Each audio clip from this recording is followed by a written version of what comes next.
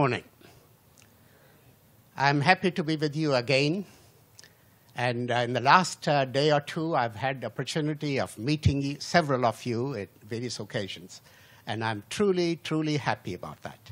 Uh, I love conversations and uh, being informed about things I don't know about, particularly history of uh, Australia. Um, and uh, I invite you again today uh, to a high tea from 3.30 to 4.30 on the sixth floor uh, level uh, in the restaurant, and just to continue our conversations. Now, last time I talked about the importance of apology in international relations. It's a subject that uh, is uh, of great importance to all of us for our survival as a human race. Because questions of how do we deal with each other, how do we live with each other? And people continue to ask. Every walk of life, people continue to ask. Psychologists, biologists, anthropologists, historians, people, uh, ordinary people, women, uh, uh, writers, novelists, filmmakers, why is it we fight? Is it in our nature? Or is it something that is in our environment, in our social and political environment that makes us fight? And kill each other, sometimes on a grand scale. So today's talk is about something that happened about 100 years ago. And in 19, year 1919, many people think it was the most crucial year in the human history. And I want to tra track uh, for you some of the features of that particular year. There is a book that came out about five years ago by one of my colleagues at the University of Toronto with that title, Year 1919, the year that changed the world. Now, something uh, drastic happened uh, in that. As I said, the question of violence, is it in our genes or is it in our, uh, uh, uh our uh, circumstances and environment, keeps being asked again and again. And here, first I want to tell you what happened in that war. It was the most drastic and crucial and, and violent war in the human history until that time.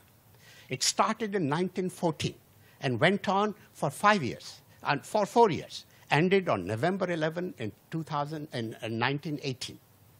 And during that time, it seems incredible to, be, uh, to see how many people died, how many people died and how they died. I want to put some figures for you that Russia lost 9.1 million people.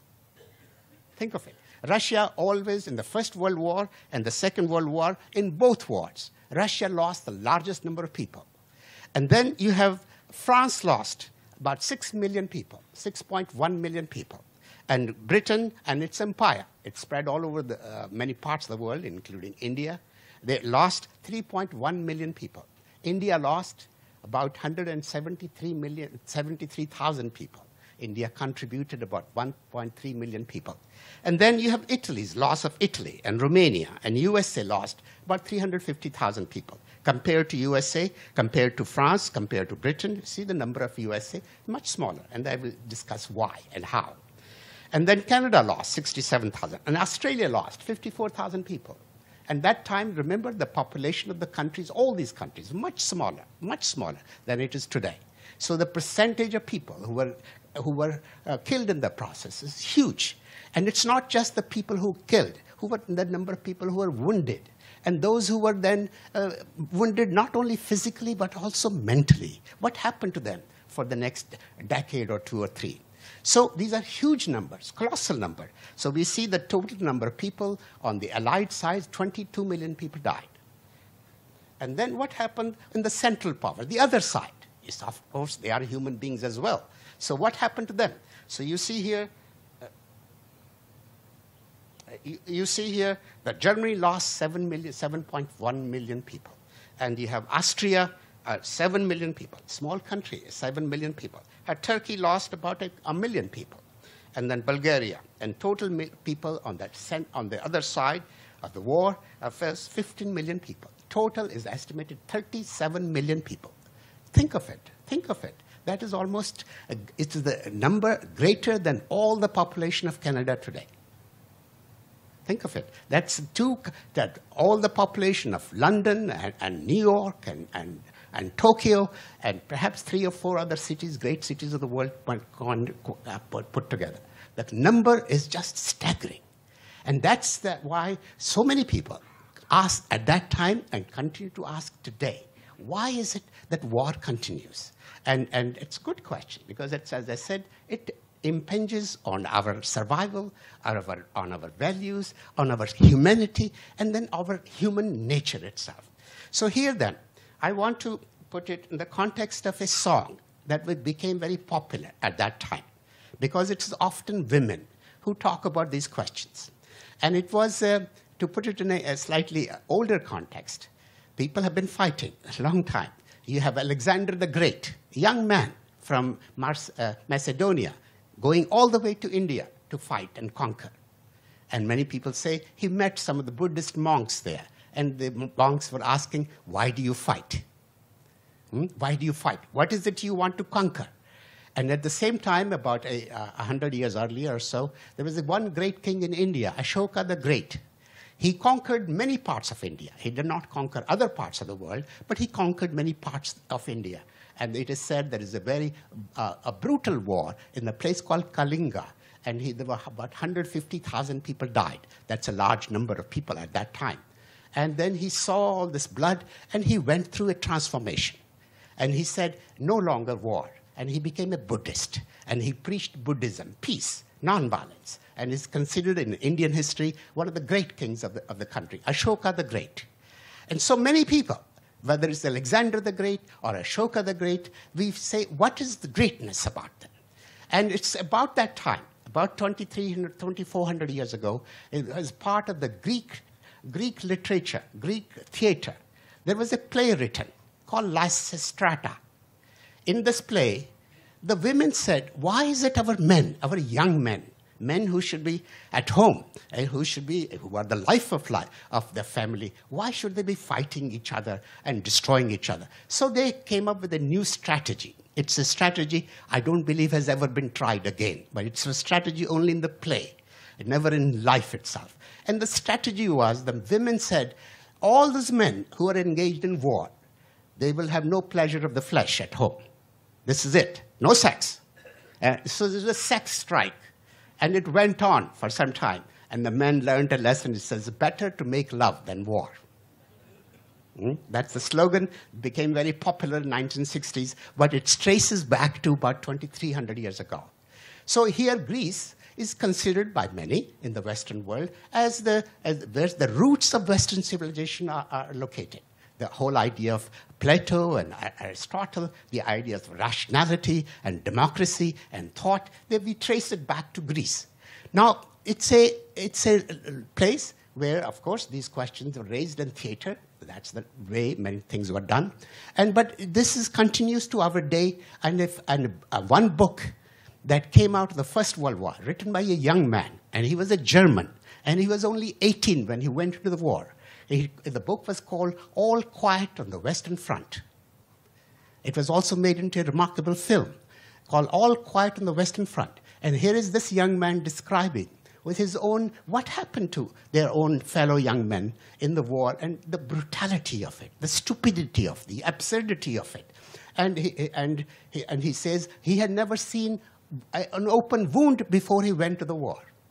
And now it's the flesh, blood all around it. And so the book became a, a classic. It still is uh, one of the great classics. So many people in literature, in theater, in films, in poetry have written about this, uh, this whole concept why war? So I'll read you here a song that came about. It's called, uh, it was called 10 million soldiers to the war have gone, who, have, who may never return again 10 million mothers' hearts must break for the ones who died in vain. I heard a mother murmur through her tears, I didn't raise my boy to be a soldier. I brought him up to be my pride and joy. Who dares to place a musket on his shoulder to shoot some other mother's darling boy? Let nations arbitrate their future troubles. It's time to lay the sword and gun away. There would be no war today if, matters, if mothers all would say, I didn't raise my boy to be a soldier. Now, it might seem to many to many, many of us who think, well, that's not how the wars are fought about. But really, when the voices come from the women, they come from the novelists, they come from the playwrights, they come from the poets, that this is not the right thing to do, then obviously our culture begins to take it a slightly different turn. And that is, uh, has been happening in small ways. It hasn't stopped us from fighting, but it has been happening nevertheless. Those voices have been, have been there and been occurring for, on a small way for a long, over a long period of time. Now, uh, here, um, I uh, move on here. So at that time, the First World War, I want to tell you a little bit of history of it because it is uh, without that history, what, who was whose side and why was it happening, we will uh, not uh, develop a very good picture of it. So let the history is what were the empires at that time in the beginning in 1913, 1914. And here is the empire, the British Empire was the biggest empire of that period. Uh, it, it, said that, that it's empire on which the sun never set. I mean, whatever part of the world you say, the sun is always, sun is always there. And so it's the greatest empire there ever was. So you have British Empire and French Empire and Austro-Hungarian Empire and Ottoman Empire. Many people don't know very much. The Muslim Empire and its headquarters, its head place in Turkey. And yesterday I mentioned to you about the Armenian genocide, and that was, was part of the uh, Ottoman Empire. And then you have Russian Empire, and then German Empire. And so all these are, empire means really uh, its reach and, and influence on other countries other than your own. That's what makes an empire. It's not just you are uh, very, very powerful in your own land. No, you have colonies, uh, places you rule and control in other parts. Germany, for instance, uh, its, its, empire, its uh, reach in the Pacific uh, Ocean here, and then you have uh, in Africa, and say we, British colonies in Africa and Asia. So these are empires that existed at that time. What happened to this? Um, so, so question then often asked, why was world, what triggered the First World War? And what made it uh, such a uh, such a, uh, drastic war, such a, uh, an amazing war, and came to be called World War.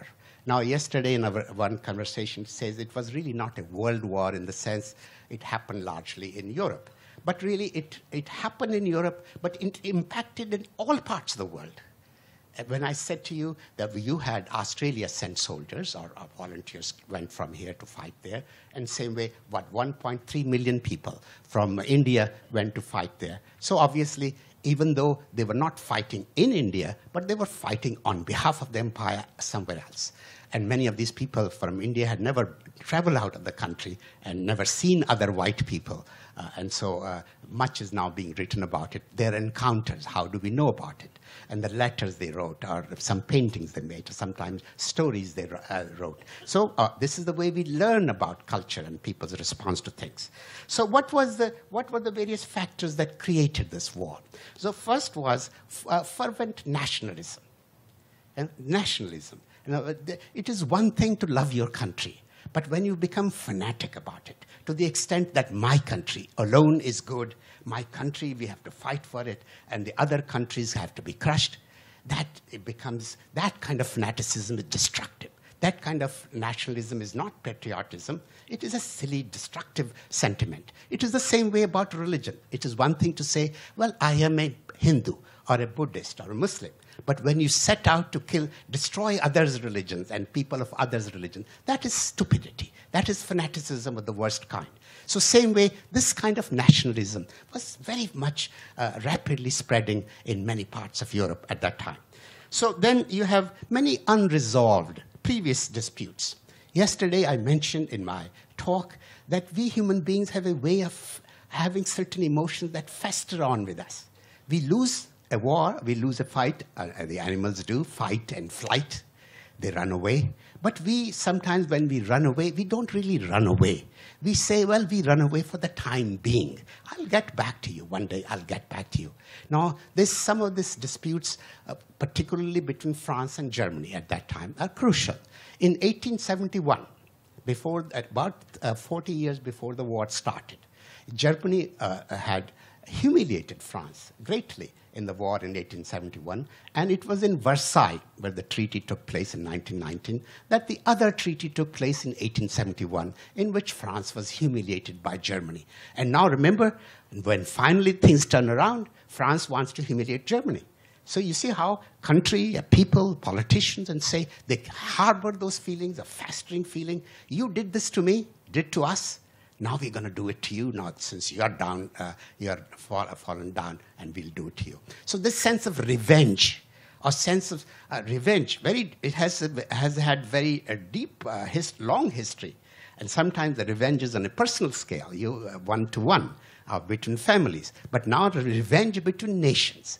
And so this revenge that, uh, between France, I, I will uh, tell you uh, very briefly, uh, shortly, about how France was, a role of France in the uh, uh, Treaty of Versailles. But that goes back, many people don't fully remember it, that it goes back to 1871, in which France was very, much humiliated by Germany in, in the war. So those things have continued. And then the arms race of the previous decades. Now, we, we think of arms race uh, uh, uh, uh, today's phenomenon, but arms race have been going on for, uh, for many, many, many decades and centuries.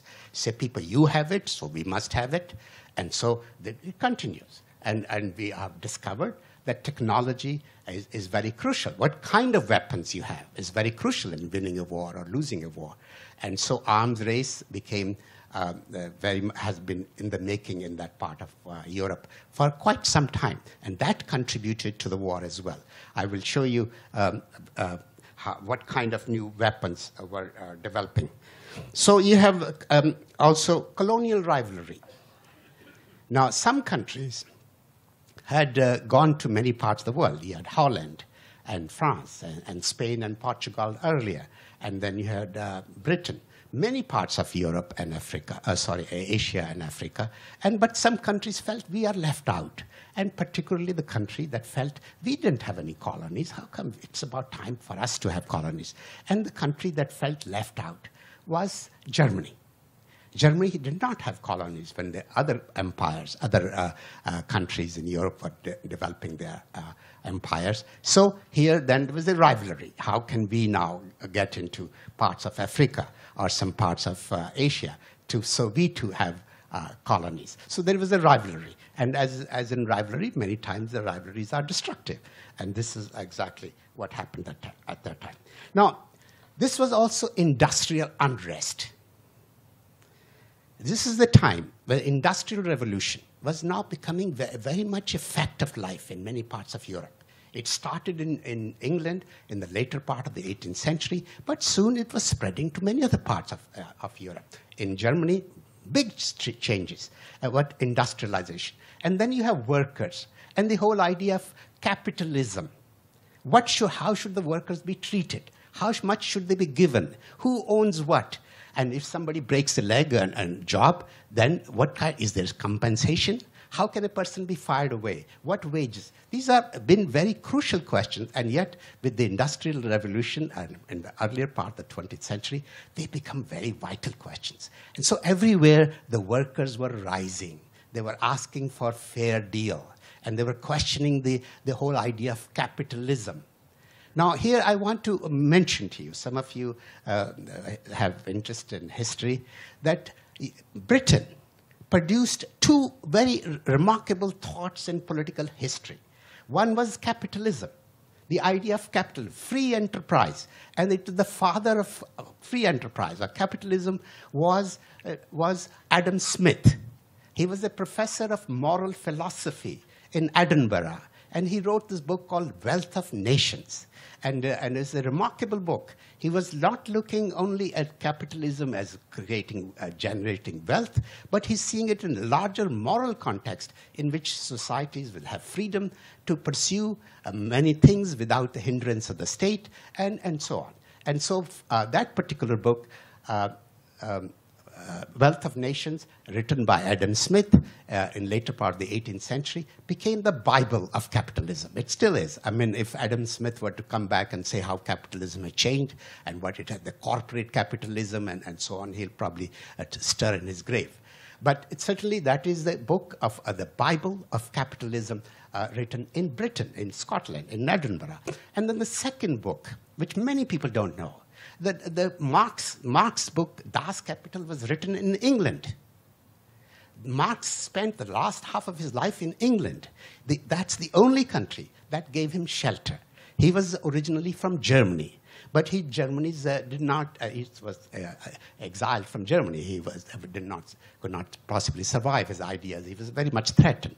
Then the second place he went to was France. But he too, then he was exiled from France as well.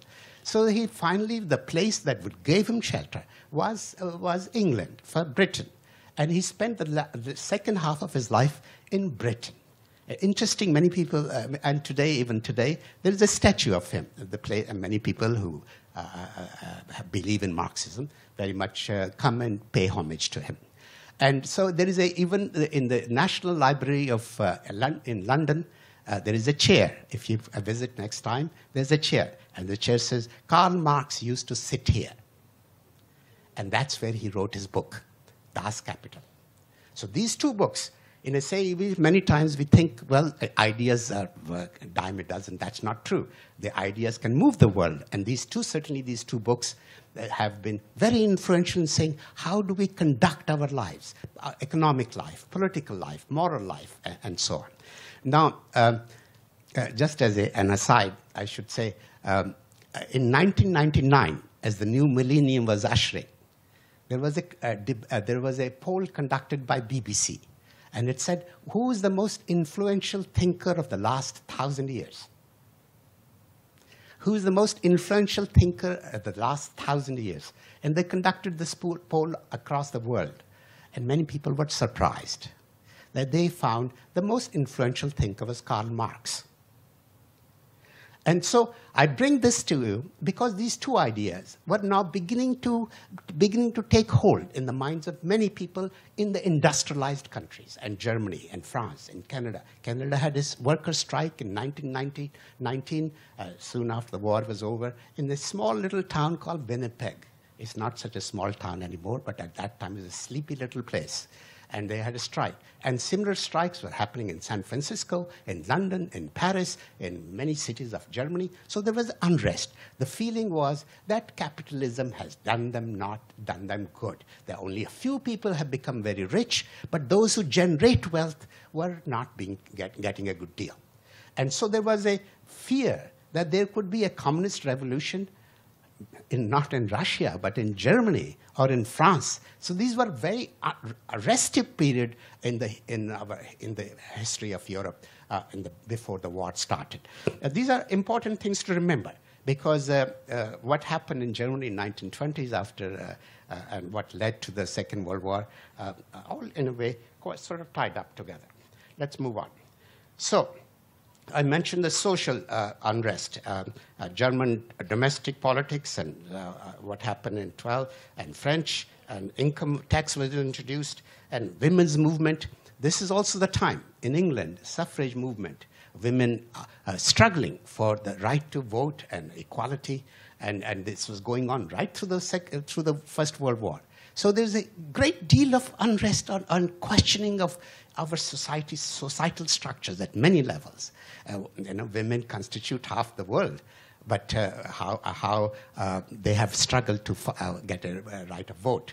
Um, firstly in England and then the United States and many other countries, and how long it took for them.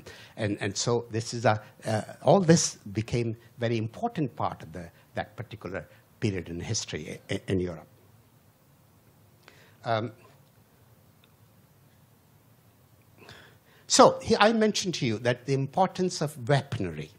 In the First World War, uh, the number of people I just uh, shared with you, how many have done, 37 million people died in the war. And uh, because the new kinds of weaponry was being now devised. And many scientists, many technologists, engineers contributed to devising this. It was considered a patriotic duty.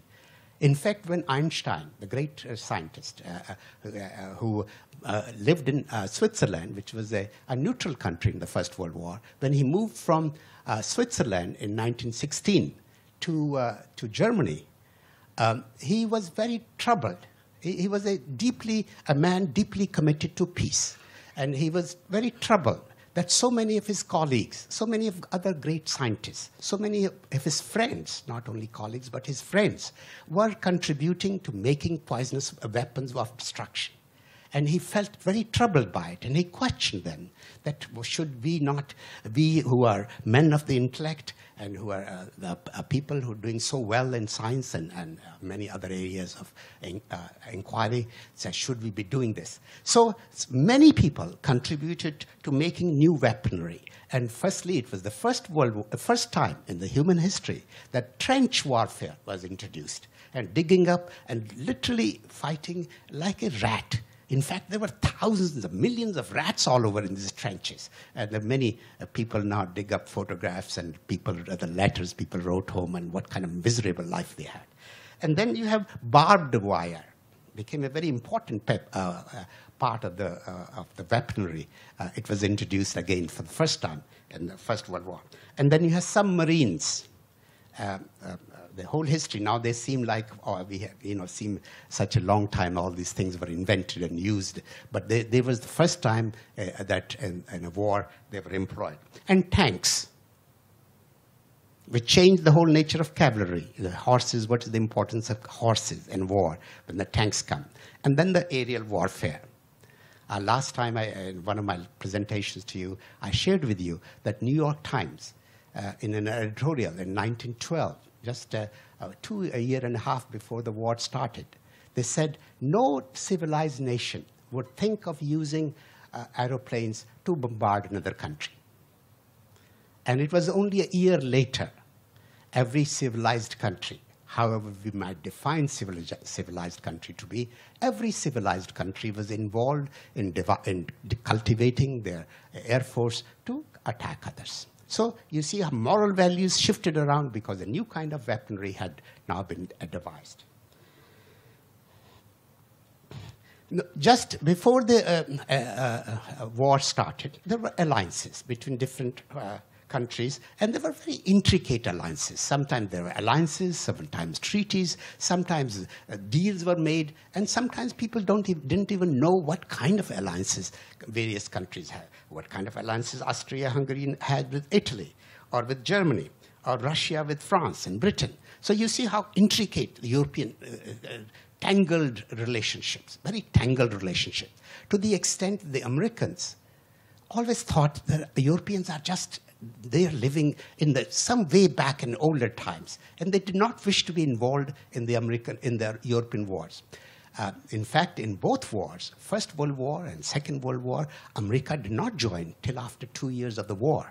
And once it joined, of course, things turned around very rapidly. But it was the people of America and the politicians were very reluctant to get involved in the wars in Europe, largely because so many wars seemed so tangled and so uh, confusing. Who is with whom and why? Is it language that plays the role? Is it certain religion? Is it ethnicity? Or is certain kind of nationalism? What is it that makes these countries fight? In fact, in European history, in the last thousand years, until the end of the Second World War, in European history, you don't have a period of more than 50 years where there's been peace. This is the longest period in European history since, the, uh, since 1945 that there has been peace in Europe. And, you know, we may think uh, of European Union, uh, you know, we make jokes, and as I shared with you a joke about language, but really this is the longest period in European history since 1945, except in Yugoslavia, there has not been a war. But until that time, for very, there hardly any period where there has been a, a, more than 50 years, there has been peace between countries. So these tangled relationships between countries that went on, and very destructive relationships. Now here I show you then who was on whose side. You see the, the, the, greenery here, the green area, these are the Allied forces. Russia was part of the Allied forces, part of France and, uh, and uh, uh, Britain. Um, uh, and of course, we have USA and Canada supporting, and from Australia and New Zealand, and, and all the members of the uh, British Empire are supporting. So all green areas are, the, in a way, supporting the Allied forces. And what are the other areas? You see, oranges, you see, there are small parts of orange, but this is the, uh, the, uh, the Austro-Hungarian Empire, the Germ Germany, and then Turkey, Ottoman Empire joined them. So you find that uh, uh the, this is, uh, these are the two uh, sides, as it were.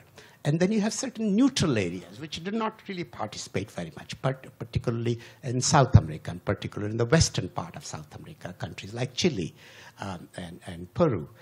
And, uh, but on the whole, it, it is a world war in the sense it impacted uh, every country, and every country contributed to it in one way or the other. Um, now, let's uh, come to what happened after the war. Because here, um, suddenly there was a hope. There was a hope, a dream, particularly in the United States, particularly this man, the president of USA at that time, Woodrow Wilson. Uh, I consider him one of the great men of the 20th century, a really remarkable man, very unusual man. He was a professor. He was a prof- and he was the president of the University of Princeton. And he was the son of a, a Presbyterian minister.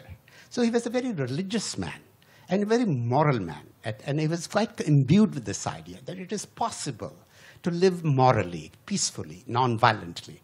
And he carried this idea to, um, to, um, to France to, in the peace, peace treaty that started on the 1st of January 1990. That's the beginning, very 1st of January, the beginning of the, and it went on, the peace treaty went on for the whole year, for long, one year long. And uh, uh, and it's sort of first half of the, by the end of June, uh, largely many treaties were formulated, but that many smaller treaties continued to the end of the year. Now I want to say to you about Wilson a little more. He came from the United States, and this is the first time, first time in American history that an American president, a sitting American president had traveled to Europe. Never traveled to Europe before. Can you imagine this today? It's the first time an American, sitting American president traveled to Europe. And he traveled not by air, at that time it was not quite possible to do that, but traveled by ship. And he took a whole entourage of people with him. And he had a plan, a 14-point plan, that how we're going to bring peace. And one of the things that he really emphasized, we are going to have a disarmament in the world. No more weapons in the world. Amazing. Today, America is the biggest seller of weapons in the world. Um, all members of the Security Council, I call them uh, merchants of death. Uh, they, they all sell weapons. But at that time, Wilson went with this idea that we will have a world in which will be disarmament. There'll be no more weapons or large weapons. So Wilson brings this at a time where, uh, firstly, uh, there are so many, uh, so few people uh, were um, uh, interested in getting Wilson to be involved in a, a negotiating treaty. But when Wilson did, uh, when America did join the war, many soldiers in the American army were Germans of German origin. Um, it's, uh, it's, again because the uh, United States is a very different country from UK, from France, from Germany. It's a country of people who have come from all over the world, certainly now all over the world, but until the 19th century, until 1900s, they came from Europe. And they came from Scandinavia, they came from Russia, they came from Italy and Germany. And so this is a country of immigrants in a way. And, and, um, uh, and the Statue of Liberty uh, uh, beckons people from all over the world in, in a manner. And so it's a country that has taken on its own dream, the American dream. And it doesn't matter where you came from, you take, took over the American dream of free enterprise, of movement, of freedom. So when, uh, when these soldiers were leaving, American soldiers were leaving to come to fight in uh, Europe. Um, uh, I remember seeing a film in which uh, the president shakes a hand of soldiers and say, first, first for, uh, you may be of German origin, your father may be German, but first of all, you're an American. So you hear you're being sent to fight the Germans. So uh, this is a, interesting how people now trying to see what is the nature of nationalism idea of patriotism being taken a slightly different turn. Now, I find um, uh, Wilson, when he arrived, uh, uh, was given a hero's welcome. The people everywhere felt that here is a man who's bringing a new hope, a new hope to the world. And, and, and uh, mothers named their children after him. Streets were named, schools were named. He was nobody in the human history until that time, it is said, was given such a heroic welcome as Wilson received in Europe when he arrived. And uh, there were disappointments that built on later on, but certainly in the first uh, uh, several uh, months, he arrived in December, several months of his uh, presence there. He was welcomed that he is a messiah. He's going to bring about change. Now, people have lived with a sense of hope for a long time, that there is always hope, that without hope, we can't live without hope. Um, uh, in Dante's famous book, in, he writes the Inferno. What is an inferno? Abandon all hope who enter here. So we live with hope. And it is with this hope and dreams that the Europe uh, at that time in 1919 was beginning to feel that perhaps a new world can be created. So who were the four people who uh, were the, uh, the most important members of the, uh, among us, the peacemakers? Well, you had uh, President Wilson, of course, but also uh, um, Prime Minister of England, Lloyd George. Now, Lloyd George was a, a minister, a labor of the Labour Party. And he was a, a remarkably, uh, he was a leftist, a social, semi-socialist. And, uh, and he was very aware of the social and political and industrial unrest that was building up in England. England was a, a very active uh, uh, uh political presence at that time. And he is also, interestingly, first person in British history whose first language was not English, he was a Welsh. His first language was Welsh, and but a, a, man who uh, very much admired in many ways, uh, and a, a, a, very pragmatic man. And then you have a, Prime Minister of France, uh, Georges Clemenceau, um, who was um, um, a, who was the oldest of all these four people. He was 76 years of age when this negotiation started. Very angry man, and uh, uh, I say this because we sometimes we look at our politicians, decision makers, as though they're just robots. No, they are human beings. They bring a lot of their own thinking and ideas, what, how they were brought up, what is their idea of morality, what should happen, what should not happen, and how they relate with each other.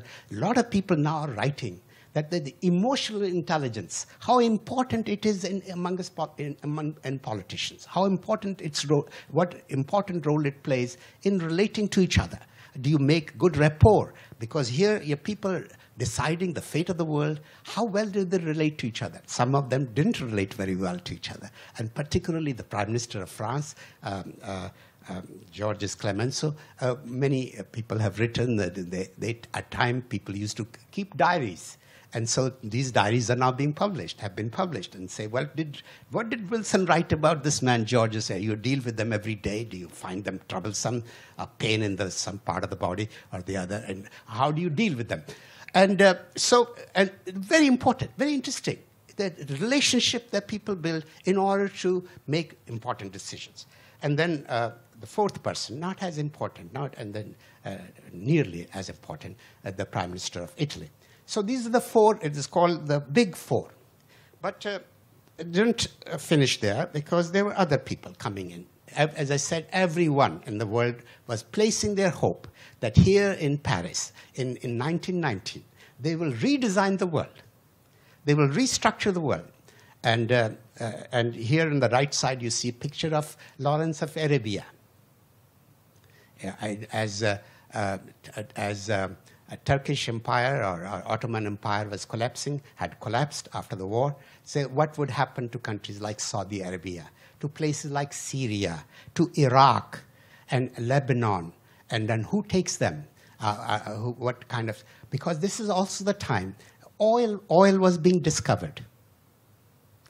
Now, oil has placed, oil has not uh, been discovered for, it was only a 150 years old discovery, started in 1850 but it is it, the role it has played in, in, in, the politics in the world has been remarkable uh, and crucial and sometimes uh, destructive. And it is the time now they're discovering, some geologists are discovering, that some of these countries, Iraq, Saudi Arabia, they may be sitting on huge wells of oil. So who controls them? After the, uh, uh the collapse of the Ottoman Empire became a very vital question. As we see its impact as uh, recently as the war in Iraq, uh, because Iraq had so much oil. and Saudi Arabia has so much oil, and so does Iran. So our Middle East was now becoming uh, important in a manner it had never been before. Its importance, and the, who knew about these things? Mostly uh, imperial countries, uh, European countries, because they had the technology to find where the oil is. Iraq didn't have technology. Saudi Arabia did not have engineers or geologists to find out uh, where is the oil. It is the European technologists and engineers who say, ha, we know where, where the oil might be. And how do we find it? How do we refine it? How do we take it away to, to, uh, for its use in other parts of the world? And indeed, its impact, as we know, in every walk of life continues to be colossal. So that's why I say this, that uh, the Big Four and others uh, and, and, here the presence of people from uh, the Middle East. Now, here is a, a map of what it, the world looked like before, uh, uh who was what um, uh, happened. Uh, many new countries which were sort of lying dormant. Countries like Poland and Yugoslavia in Europe being redefined, Czechoslovakia, because earlier uh, who, uh, the ethnicity was very important. Language has been very important. What defines Germany? What defined Czechoslovakia? Now Czechoslovakia has two countries. You have Slovak and, and Czech Republic, and because it is divided. And we've seen the war in Yugoslavia, how it has been splintered in so many new countries. But these were also in the making at that time. And, and distrust uh, and, and, uh, uh, and who rules and what manner you, you, rule. Now, remember at that time, there was no such thing as human rights, the idea of equality, that everyone who is a member of your state or government or country is to be treated equally. Now we fight over it. We feel, well, if, it doesn't matter if I'm black or brown or yellow or white, if I'm a citizen of uh, Australia or Canada, I should be treated equally. This idea of equality didn't quite exist at that time. And, and certainly Woodrow Wilson, when he arrived, he very, very much promoting that idea, even though in his own country there were a lot of black people who were not being treated equally. So these are sort of ironies uh, of um, uh, politics in many ways. But these are the uh, things that um, uh, tells you uh, in map. And after the war, uh, as I said, new countries emerged. And, and all this was part of the treaty that, that was taking place uh, quickly go over it because there are many other things to discuss. So as I said, everyone is now knocking. Uh, as everyone is knocking on the um, doors of um, these leaders, they were hoping that these leaders now will bring uh, change to um, things that have been otherwise been ignored uh, by um, their own people, their own politicians for a long time. Um, uh, here, China belongs to the Chinese. Became a very because here Japan had its own imperial uh, excursions uh, in many uh, Asian countries. And Japan had very imperial designs on uh, Asian, uh, many Asian countries. Japan very much envious of European nations, particularly Britain, thinking that the true uh, imperial power that should rule uh, Asia should not be European, it should be an Asian uh, imperial power, and, and that was Japan. So Japan wanted to see how they can rule India and Philippines and uh, Malaysia um, and so on. Why is it a country, small country from, uh, from Europe, should be ruling uh, countries in Asia, such huge countries like India in Asia? So there was a, this idea uh, the emerging, who is uh, uh, China certainly very afraid of uh, uh, Japan at the time. So asserting how China's nationalism, China's interests, China's boundaries, China's um, interests can be preserved. And same, po Poland must live again. And then Kurdistan, I mentioned the other day how there are Kurds living in three countries, in Iran and Turkey and Iraq. and so they are asserting their nationalism, their freedom. And then people complaints, endless complaints. They didn't know where to turn for complaints. Everybody is now coming to Paris with their complaints, hoping that these four people, these four big four, will uh, listen to them and make some uh, decisions uh, that can help them resolve the conflict. So you have Slovaks against Czechs, and Chinese against the Japanese, and Croats against Serbs, and Arabs against Jews. Now, just quickly, uh, let me uh, tell you that this is the, the birth of Israel The birth of Israel goes to the collapse of Ottoman Empire because now Palestine became part of the British pro- protectorate. And then this is the first time the Zionist movement is being given a promise that a new homeland for the Jews will be, will be granted. And, and it is a movement like this starting uh, in USA and uh, promises being made. And indeed, as we know, the birth of Israel took place in 1948. But its roots of that birth go back to the collapse of the uh, Ottoman Empire uh, in the First World War. This is also the beginning of the uh, creation of a, a Republic of uh, Ireland. Uh, Ireland was divided in two parts, and uh, Irish people fighting against the British um, colonialism, if you like, and, and they promised to fight in the war on, on part of the British Empire on the, uh, um, on the hope that they'll be given guaranteed uh, uh, republic. And indeed, in 1922, the beginning of the creation of the Republic of Ireland took place many years later, but that is where it started. And then the third thing, very important thing, is the liberation of women and women's rights. So you have women's rights and the Irish movement and the rights, of homeland for the Jewish. So all these three things are very, uh, very crucial. We see their impact uh, in our life today, 100 years later, or 75 years later. um, now, when um, um, um, League of Nations was uh, the other idea that Woodrow Wilson brought to, from the United States. This was his idea. Just as we have a police in a, in a city, or we have military in a country, or police forces. So the idea that you do not take law in your own hand. Is a great step in human civilization. This idea that revenge is not civilized behavior. I hurt you does not mean you hurt me back. No, I go to police and complain. And so the police investigates, and there are supposedly judges who then find out who is guilty and who is to be punished. So this whole idea, very important idea, that you do not take law in your own hand. Until thousands of, for thousands of years, people had no idea that there's a law and that people, you did wrong to me, so I'll do wrong to you. An eye for eye, and a grave for a grave on the other side. So this idea now, say, how is it possible to do it on a global level? Countries fight because there is no police to control the two countries. So this is how, how the idea of uh, League of Nations uh, started, and it was brought by um, by Woodrow Wilson.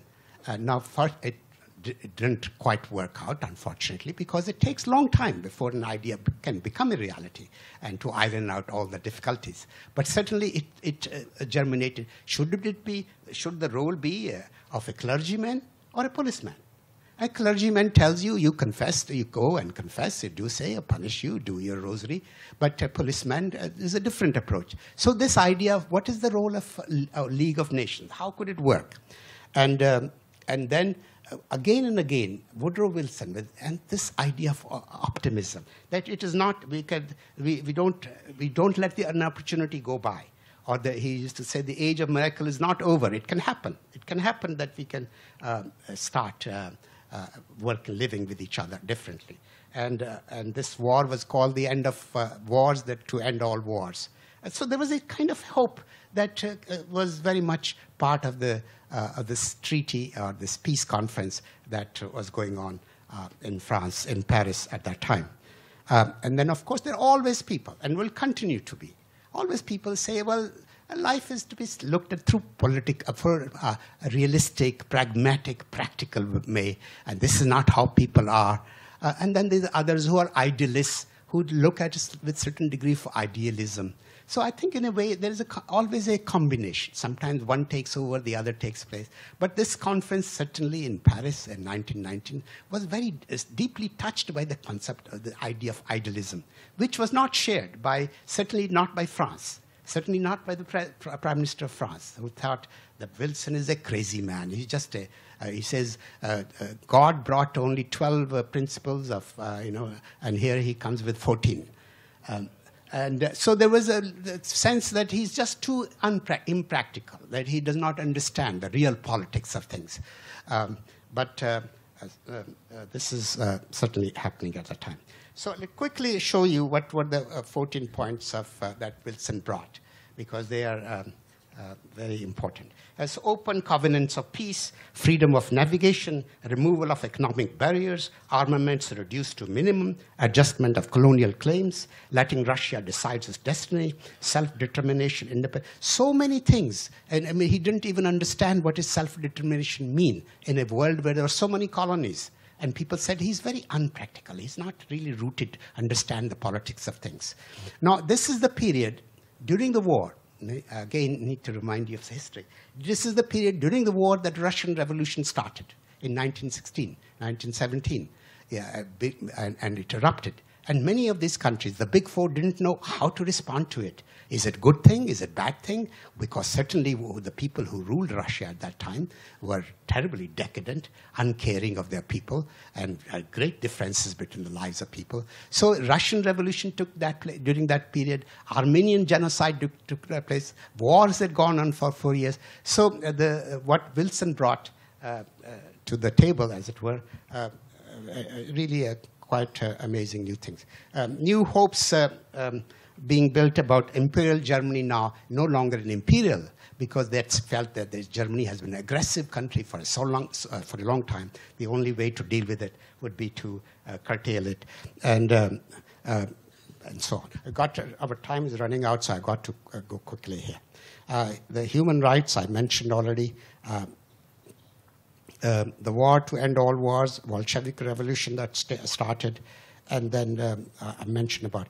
So here then, when the, the treaty, the Versailles Treaty of Versailles, how was Germany to be handled? How Germany is to be treated?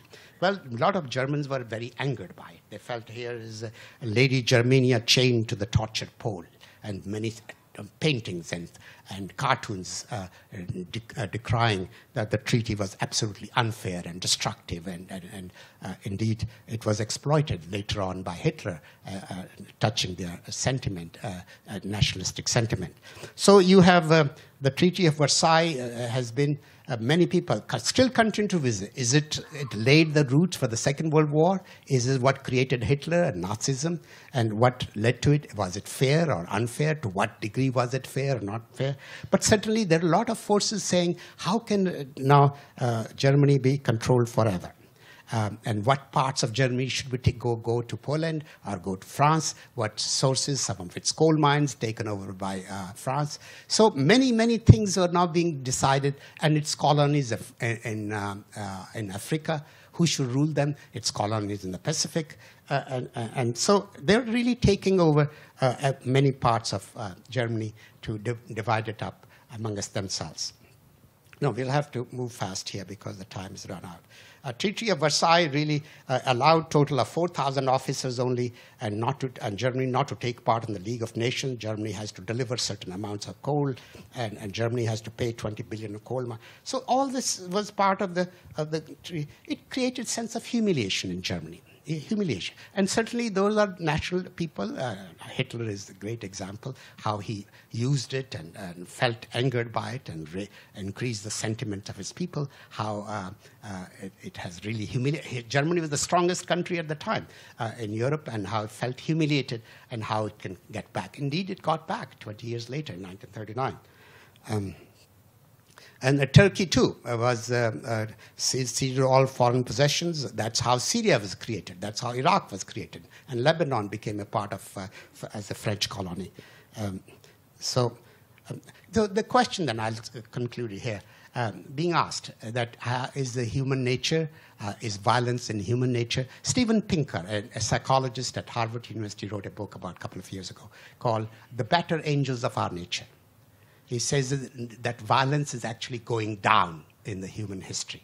Uh, or he's taken a period of 200,000 years, not just uh, last 20,000 or last 2,000 years, but a period of 200,000 years, how human beings are becoming more civilized, less given to violence, despite all the violence that we have seen in the 20th century, still continue to see. A remarkable book called uh, um, uh the, uh, the, Decline of in Violence, uh, uh, in human so societies. So I leave this question here. Is violence or is it love in our genes or is it violence?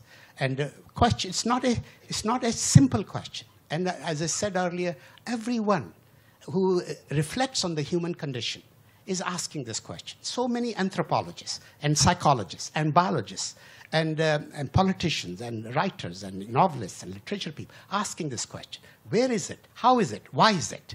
And it's a question that goes back uh, not only to 1919, as I shared with you, goes back to the time of Greek plays 23, 2400 years ago. It, comes, it has a question that has plagued us, not plagued us, but continues to stir us our imagination time and again. And it's a vital question. So thank you very much.